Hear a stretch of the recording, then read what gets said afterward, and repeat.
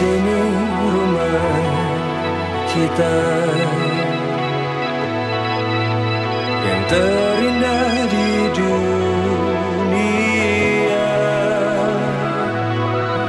Oh tanah.